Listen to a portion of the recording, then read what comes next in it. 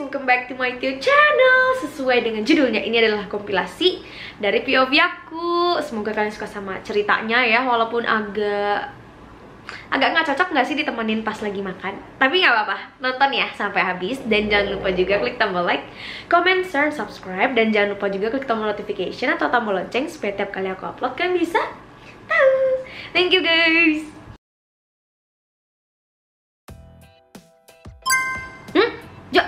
jodohku mau beli tuyul mah tapi buat apa? Ya, pastinya buat nyolong duit dong, Yan. Buat apa lagi coba? Eh, mama kok ngomongnya kayak gitu sih? Harusnya kan mama doain ya jodohku tuh baik-baik gitu loh. Ya ilah, Yan. Justru mendingan dia beli tuyul kan ya daripada dia beli cewek. Ya, iya juga sih. Nggak tahu ah, aku mau sekolah dulu. Bye. Duh sumpah capek banget anjir gue sekolah Bisa gak sih gue langsung nikah aja gitu sama cowok ganteng ya Gak kaya gak apa-apa Yang penting kaya raya gitu sekarang jodoh gue mau beli rumah angker coy.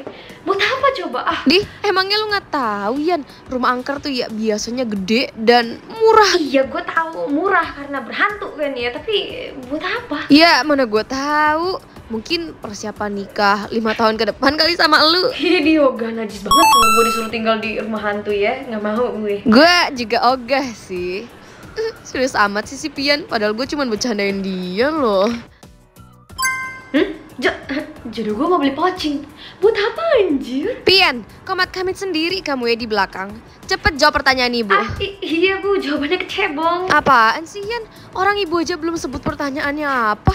Ketahuan kan kamu dari tadi tuh nggak merhatiin Ma ibu. Maaf bu. Yaudah kalau gitu cepet jawab. Kenapa kucing-kucing di rumah ibu tuh suka makan jengkol mentah gitu? Um, doyan kali dia bu Duyan sumpah lu lu jago banget anjir bikin butet emosi. Please, tuh guru emang kagak jelas anjir. Masa pelajaran matematika nih? Tapi pertanyaannya kenapa kucing di rumah dia suka makan jengkol gitu? Apa coba hubungannya? Iya sih emang gaje. By the way tadi kalau nggak salah gue denger jodoh lu mau beli pocing ya? Oh iya nih, belum gue tolakin anjir. Ngapain coba dia beli pocing? Aneh-aneh aja loh. Sumpah iya, jodoh gue juga sial. Mana tadi pagi dia hampir beli nenek ngesot. Emangnya lagi zaman apa ya beli begituan, hah? Ya, mana gue tahu. Tapi gue ada ide deh, gimana kalau kita laporin aja mereka ke pusat bantuan gitu, biar nggak beli macam-macam lagi, iya nggak sih? Laporin ya? Oke juga sih ide lu ini. Ayo berangkat. Permisi bu, apakah benar ini uh, pusat bantuan? Ya iyalah, masa WC umum orang ada tulisannya? Nah ini bu, jodoh saya sama jodohnya teman saya itu aneh banget. Masa dari tadi pagi mereka minta izin mau beli barang goib sih bu, I mean hantu gitu. Ya kalau ada yang jual dan mereka mau beli, ya udah gitu loh. Emang ibu nggak ngerasa itu aneh? Enggak, suami ibu ngoleksi tuyul di rumah biar ya dia nggak perlu kerja lagi. Anyway, kalau emang jodohmu mau beli barang-barang aneh, izinin aja. Kan itu pakai duit mereka sendiri. Lagian sejujurnya juga bukan hak kalian untuk melarang, walaupun ya kalian ini jodohnya. Iya kan? Hmm, yang diomongin sama ibu di pusat bantuan ada benernya juga sih. Yaudah deh, mulai hari ini jodoh gue kalau mau beli apa pun bakal gue izinin. Gue juga deh, gue juga. Hmm? Jo, jodoh gue mau beli rumah gue, coy. Hmm? Jo, jodoh gue mau beli rumah gue, coy. Loh emangnya rumah lu dijual, Yan? Iya, kagak lah kecuali kecuali pabrik cilok emak gue bangkrut. Mama. Yan, maafin mama. Mama ditipu sama teman mama dan dan semua duit mama hilang. Ba ah, berarti benar mama jual rumah ini. Loh, kok kamu tahu sih mama jual rumah ini? Itu itu karena jodoh aku yang bakal beli rumah ini, mah. Ya udah kasih aja, Ian. Nanti pas dia beli, kamu langsung bilang aja kamu ini jodohnya. Pasti pasti kita dikasih tetap tinggal di sini. Yan, please lah, bantuin mama. Mama nggak bisa loh kalau harus tidur di jalanan, ya.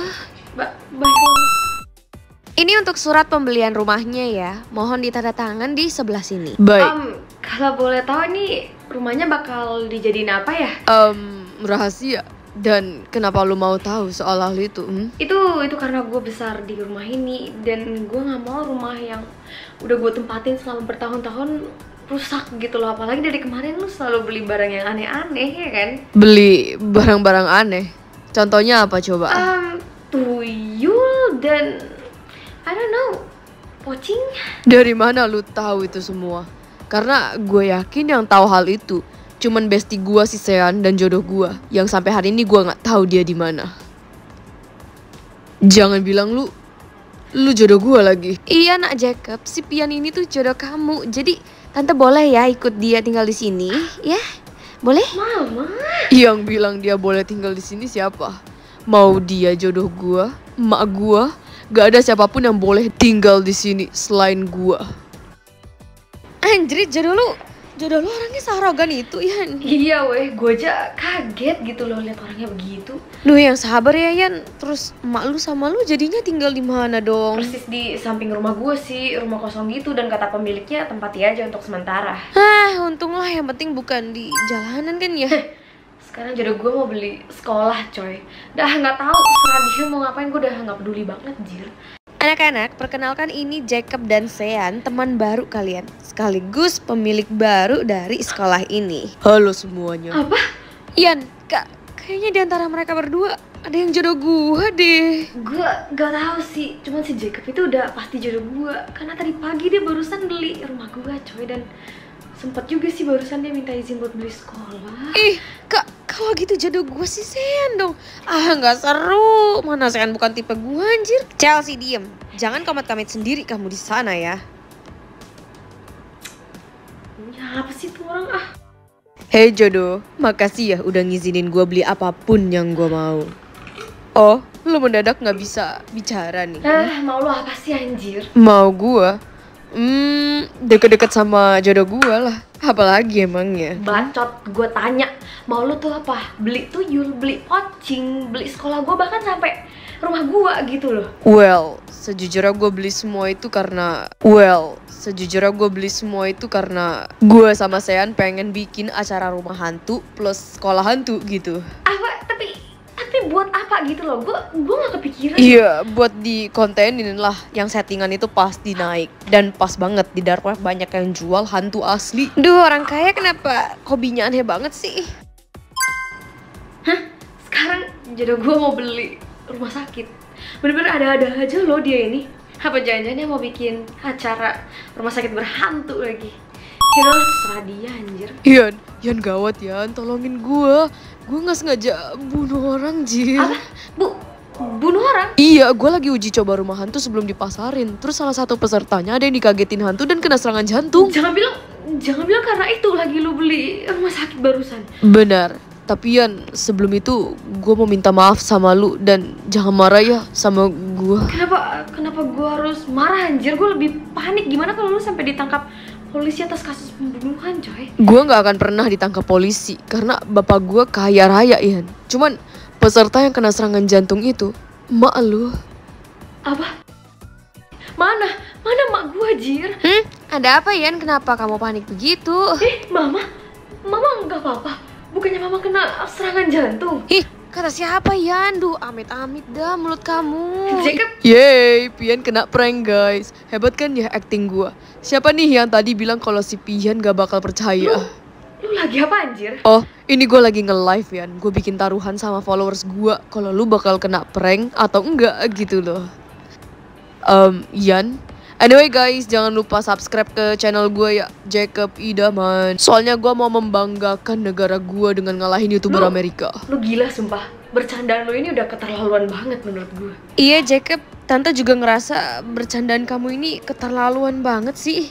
Keterlaluan apaan? Bukannya lebih parah Tante ya? Pura-pura bangkrut biar aku sama Pian bisa saling kenal, iya kan? Jacob soal itu. Apa? Jadi, jadi semuanya udah diatur dari awal sama lu berdua.